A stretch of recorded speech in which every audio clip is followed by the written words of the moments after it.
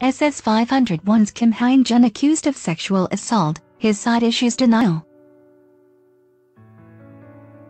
SS501's Kim Hyung-jun has denied accusations of sexual assault against him, following a previously anonymous report that a complaint was filed to police against a member of a famous idol group back in May of 2010.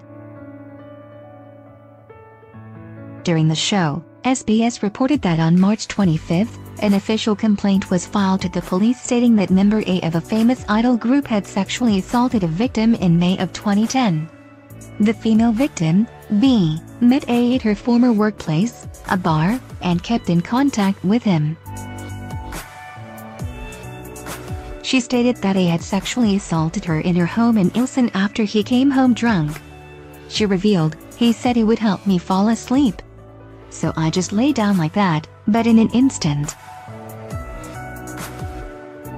Although she rejected his advances twice, she could not stop him. B continued, he said it would be okay. He then grabbed my arm. I felt so humiliated. He had absolutely no respect for me as a human whatsoever.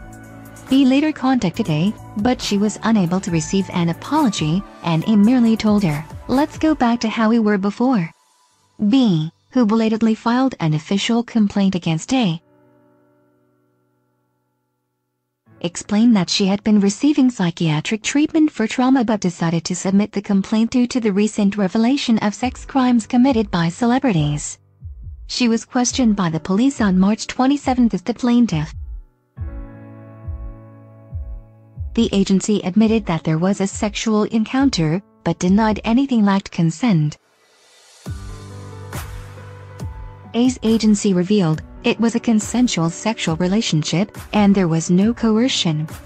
A is currently performing overseas and will sincerely participate in police investigations upon his return to Korea. Eventually the identity would get out, so Kim Hyung-jun's agency told SPOTV News their side of the story.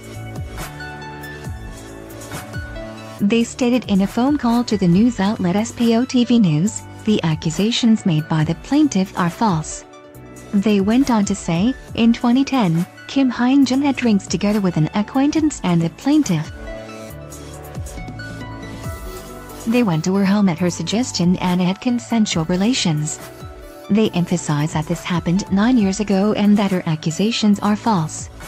She is taking advantage of the fact that he is a celebrity, they stated and said they plan to respond based on charges of false accusations and defamation.